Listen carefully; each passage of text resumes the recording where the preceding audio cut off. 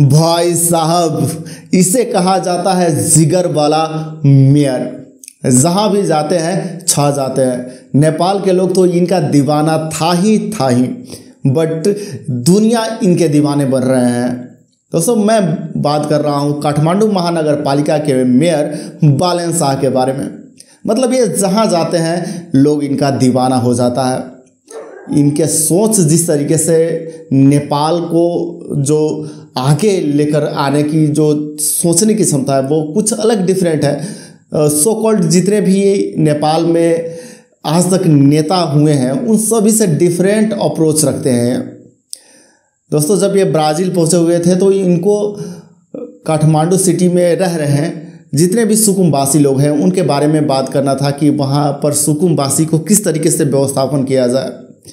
उन्होंने जिस तरीके से अपने इस प्रॉब्लम को लोगों के सामने, दुनिया के सामने रखा और इस तरीके से, किस तरीके से इसको सॉल्व किया जा सकता है, उसके बारे में जो बताया, दुनिया दंग रह गई और वाकई में कहा जाता है कि भाई एजुकेटेड पर्सन और डेडिकेटेड पर्सन जब एक कुर्सी पर चला जाता है तो वाकई में कुछ कर जाता है।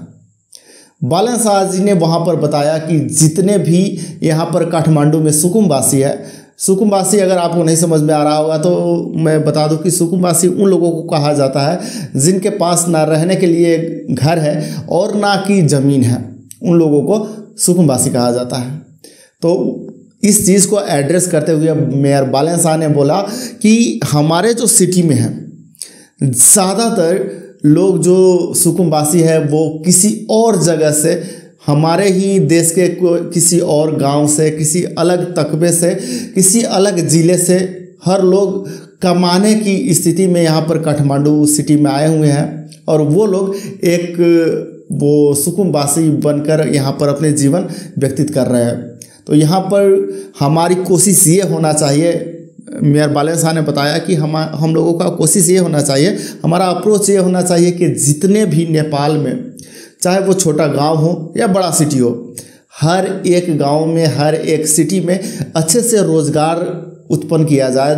लोगों को, युवाओं को रोज़गार जब दिया जाने लगेगा तो काठमांडू जो महानगर है, वहाँ पर ट्रैफ़िक बहुत ही सारा कम होगा।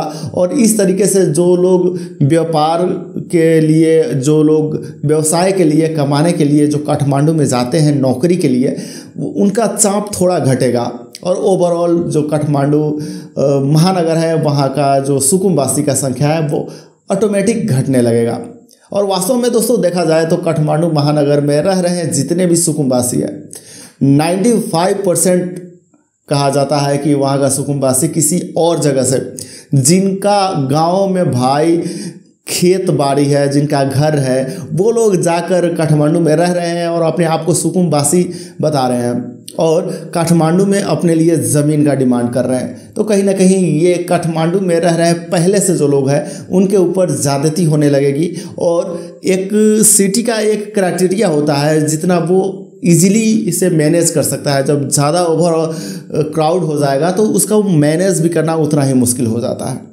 ओवरऑल दोस्तों, जिस तरीके से अप्रोच किए हैं बाले शाह की, किस तरीके से इसको घटाया जा सकता है नेपाल के हर एक गाँव में ही, हर एक सुविधा हो, चाहे एजुकेशन के लेकर हो, चाहे वो व्यापार और बिज़नेस तथा नौकरी को लेकर हो, लोगों का जब समस्या सॉल्व होने लगेगा, स्वास्थ्य संबंधी समस्या सॉल्व जब होने लगेगा गाँव में ही, एक छोटे शहर में भी तो वो लोग प्रेफर नहीं करेंगे ना काठमांडू आने के लिए।